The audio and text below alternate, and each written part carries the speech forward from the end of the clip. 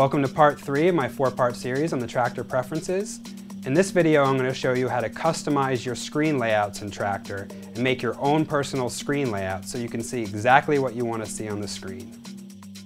In Traktor's preferences, there's six sections of the preferences where you can make custom layouts and fully customize different screen sets for how you DJ. The six sections to create and edit your layouts are Decks Layout, Decks, Mixer, Global Settings, Browser Details, and Layout Manager. Here's what each section of the preferences does in detail. To create a layout in Traktor, you'll go to the Layout Manager. To create a new layout, click on the Add button. You can reorganize the order of your layouts by clicking on the Move Up or Move Down buttons, and you can rename your layouts by clicking on the Rename button.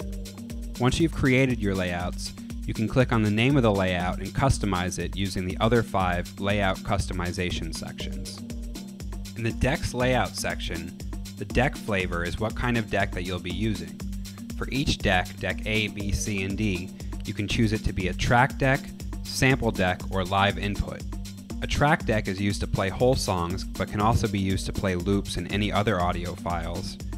A sample deck is made to play clips of audio shorter than 48 seconds and can play loops or one-shots.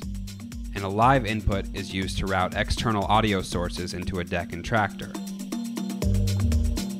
The deck layout section is where you can change the deck size. For each deck size, different things are showing or hidden in the deck. For example, Micro View shows only the stripe and the play button. Essential View shows a larger waveform display and a track overview but has minimal deck controls to make it easier on the eyes, and Advanced Mode has all the deck controls in Traktor's Advanced panel for quick access, but takes up more screen real estate. If you're in Advanced View, you can actually choose which Advanced panel that you see underneath the decks. The Move panel gives you controls for beat jump and loop editing. The Cue panel gives you controls for triggering, editing, naming, and deleting cue points. And the Grid panel gives you controls for editing Traktor's beat grids. If you want to show four decks, you can check the option Enable Decks C and D, and you'll have four decks showing. If you want to see the tempo fader inside of the decks, check the tempo fader box for each deck that you want the tempo fader shown. In the platter scope section, you can choose if you want to see the timecode scope or platter in the decks or not, or if you want to have them minimized. If you choose off, the platter isn't showing, this is good if you're not using any timecode control. If you choose minimize, the platter isn't showing, but it's easily accessible by clicking the maximize arrow inside the decks.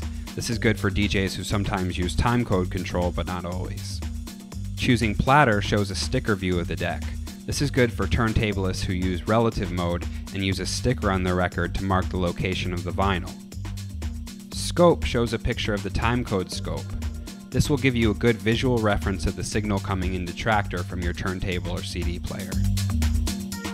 In the Decks section, you can edit the info that's displayed inside of Traktor's decks and choose how the decks are displayed. In the Deck Heading section, you can edit what information you see at the top of the deck. Show Cover Art will show you the track's album artwork in the decks. Show Phase Meter switches Traktor's phase meter on or off, which is Traktor's way of visually mixing. Permanently show sample deck indicators switches the sample deck indicator slots on or off, allowing you to see the sample deck's cue, key lock, and effects indicators. Top, middle, bottom row will let you choose what info is stored in the decks heading. The top row is the biggest, so it's best to put the most important information at the top. In the miscellaneous section, you can edit the appearance of the decks. The grid mode will choose how bright the beat markers or transient markers are in the decks. Full will show bright beat markers.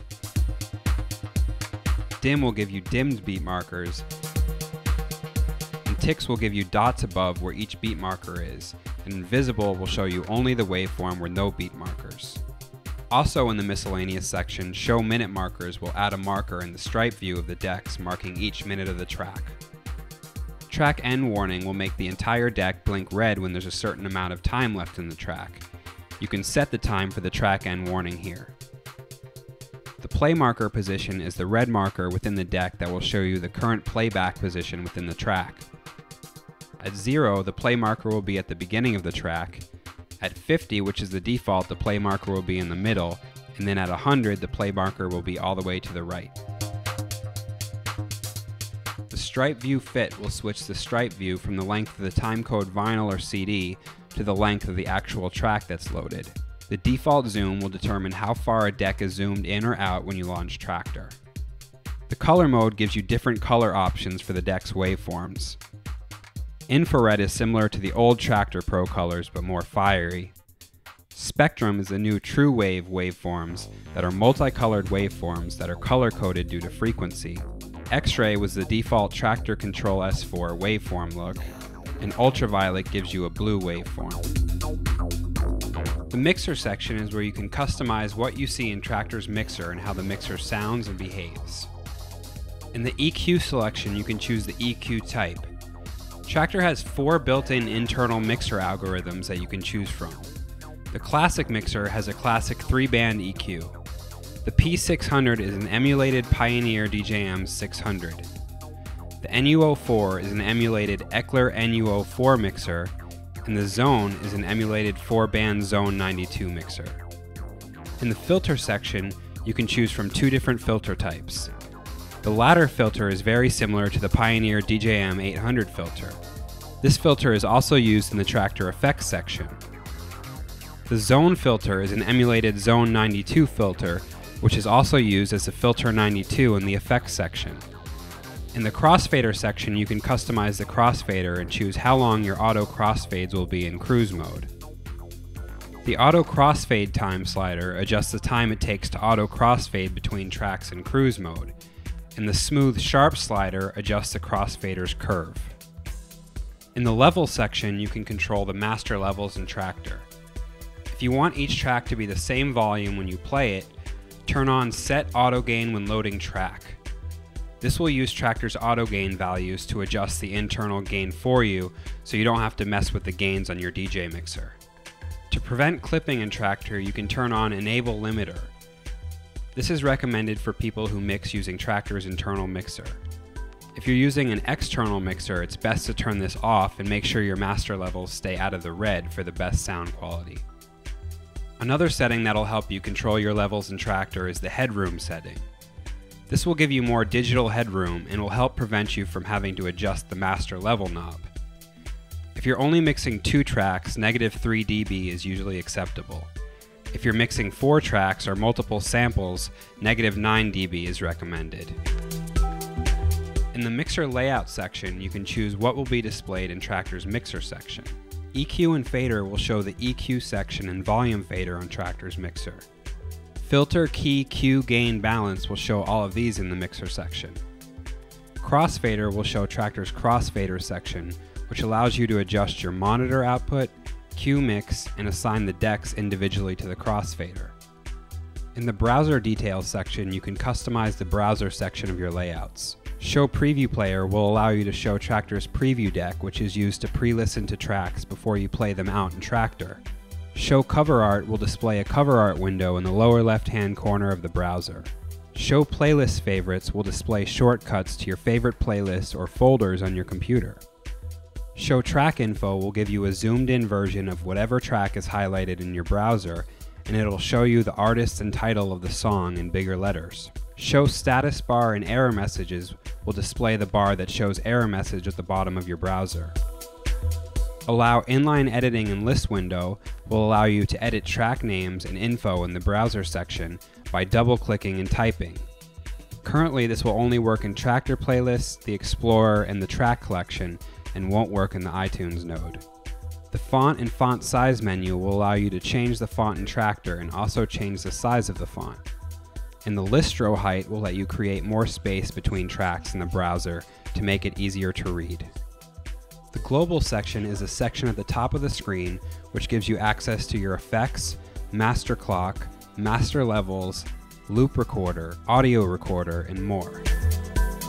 Now by this time you should have your own customized Traktor screen layout. In part 4, we're going to be talking about how to set up your effects, recording, your global settings, and how to organize your own files inside of Traktor. Welcome to DubSpot We believe in providing you hands on experience right away. Whether you're completely new to music and want to turn the sounds in your head into a musical reality, or you're an experienced artist looking to refine your skills and add new tools to your arsenal, we're ready to meet you at your level. For students of all ages, all levels, and all styles of music, Dubspot is here to help you achieve your goals. With course offerings both online wherever you are and at our school in the heart of New York City, we are ready to guide you through the next phase of your musical transformation. Whether you want to produce music, DJ, or do both, you've come to the right place. Come explore Dubspot for yourself. Become a part of our community and make music.